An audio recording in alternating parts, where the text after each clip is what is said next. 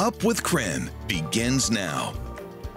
Right now on Up with KREM, we're taking you outside and talking changing air quality throughout the day. You've got good air quality now and some cool temperatures. Now's the time to open those windows. The city is responding to record drought in our area. This morning, we are looking into what they're doing now to conserve water. Yeah, that's right. More of this yellow or what they're calling gold grass is what you'll find because of these signs right here. This saying, go gold to save blue. And there's a primary election just around the corner. What you need to know ahead of the election that's just two weeks away. We're beginning this morning with breaking news, though. Washington State Patrol is asking for your help to find this missing Spokane teen. Kaylee Kelly went missing four days ago on July 18th. She is 16 years old with blue eyes and blonde hair. Anyone who sees her is asked to call the Spokane County Sheriff's Office at the number there on your screen. Happening right now, the drought in Washington is worse than it's been in more than 100 years. Earlier this month, Governor Jay Inslee declared a state, the state in a drought emergency. Now the city of Spokane is doing what it can to cut down on usage by not watering public lawns. Nicole Hernandez joining us live to tell us about their plan. Good morning, Nicole. Yeah, good morning, Tim. So you might have actually seen these signs around the city with the saying, go gold to save blue. Underneath in the small print, it's the city's way of uh, doing their part to save water here in Washington state during this drought. So that means you're going to see more of this gold, this yellow dying grass around our city. They're planning on stopping watering in city right of ways, at water services sites, here at fire departments as well, which is where we're standing, and other city properties across our area at this point and they're going to continue doing this until those drought conditions improve.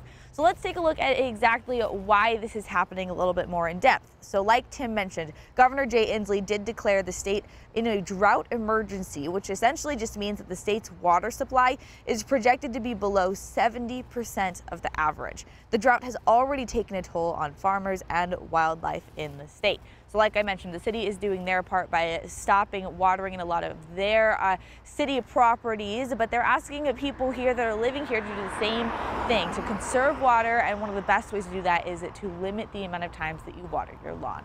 Live in Spokane, I'm Nicole Hernandez. Some great advice, and this morning we want to know, are you going to conserve water this summer? Is there any way you're doing it already? So, or do you have any ideas? Let us know by texting us at 509-448-2000. We'll talk about some of the tips that you have for us this morning. One of the tips Jeremy is going to be doing is maybe watering every three days instead of every other day. Yeah, I, th I think just those little differences will make yeah. it. I, uh, Tim, as you know, I've been battling the yard since I moved into the house, and uh, it's been a losing battle so far. I finally have some green blades of grass, and Ooh. as we start to conserve water, part of me is going, "Oh man, I worked hard." The other part of me is going, "Ah, whatever, it's just grass." So.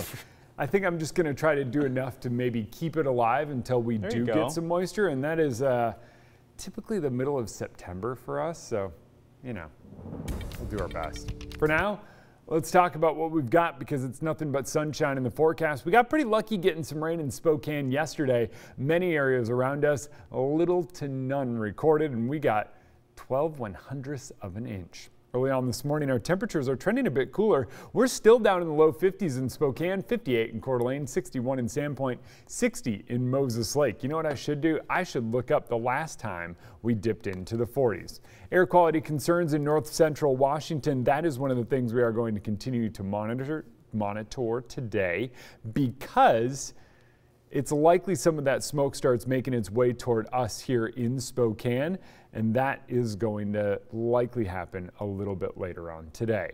And so, as wind picks up throughout the day, or well, wind shifts directions, let's say, as it gets more westerly later on this afternoon, that's likely when we wind up seeing some of those air quality concerns. And that's one of the things we'll kind of keep a close eye on later on today. Temperatures are going to climb, though. We're up in the 80s later on this afternoon. And if it sounds like I'm a bit distracted, it's because I am. And Tim, I just looked it up. So as I send things back to you, the last time we dipped into the 40s in a morning, was June 16th. What? It's now officially been more than a month since we've seen the 40s, wow. and we didn't get there today. So maybe, but probably oh. not this weekend. All right, but 52 feels pretty good. Oh, yeah. All right, it is time for your morning rush. More news in less time. Tomorrow, all public lands in eastern Washington will be closed to public access. Department of Natural Resources says this is due to high fire danger. All wildlife areas, including water access areas, will also be closed in eastern Washington. And to be clear, these are public lands. Private campgrounds will be making their own decisions. If you have a camping reservation this weekend, you might want to check with that campground. The U.S. is extending border restrictions to all non-essential travel as COVID cases continue to rise. Borders with Mexico and Canada will remain closed through August 21st. The restrictions were set to end today. It comes on the heels of Canada's announcement this week that it would reopen its borders to fully vaccinated Americans and permanent residents starting on August 9th. A mosquito sample in Grant County tested positive for West Nile virus. The Grant County Health District says this happened last week. It might sound concerning, but people, no people tested positive for the virus so far, and most people infected will not get sick. Only one in five people have mild symptoms. West Nile, though, can be harmful to birds and horses. Now, if you're eating a muffin for breakfast this morning, heads up, you might want to check the label. A company that sells muffins at 7-Eleven and Walmart issued a recall for listeria concerns. Give and Go Prepared Foods Corporation makes the muffins you see there on your screen. You can find the full list on krem.com. Mild symptoms of listeria can include fever, muscle aches, nausea, vomiting, and diarrhea. Netflix is adding a new attraction to its marquee, video games. The streaming giant says it will offer video games in an existing two existing subscription plans at no extra cost.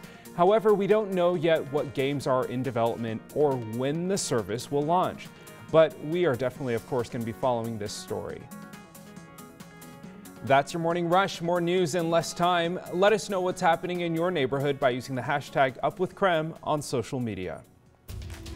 Well, the 2020 election feels like it just happened, but in less than two weeks, Washington State will hold a primary election on August 3rd. Brandon T. Jones joining us live to talk about what's on the ballot. Good morning, Brandon.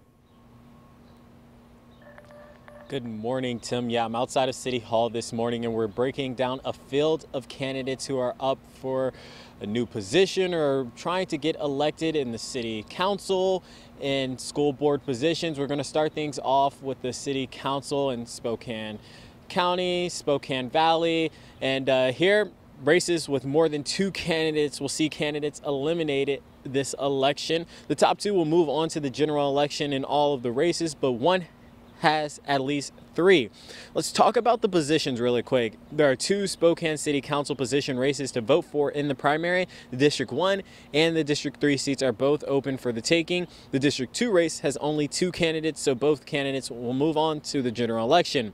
There are three positions open for Spokane Valley City Council Position 4, Position 5, and Position 7. All three incumbents are seeking re-election, but that did not stop the number of opponents. Each race has at least three challengers. In our next half hour, we'll be talking about the school board positions up for grab. So let's go ahead and move on and talk about how you can vote. You can vote by mail, so the sooner the better, but just make sure you drop off the mail-in ballot by 8 p.m. on election day, or you can vote at a county elections office in person until the day of elections on August 3rd. You can also register to vote on that day and have your vote count. That's a lot of information. So go ahead and text us the word election to 509 448 2000. We'll send you a complete guide directly to your phone with all of that information I just went over. Tim? Thanks for breaking that down. Well, this next story lighting up social media, everyone talking about this one. Washington State University's head football coach announcing that he will not be getting the vaccine. And now many are responding anybody in a leadership position in the state of Washington, I believe, has an obligation to lead and use their leadership position to save lives. How you at home are also reacting to the news.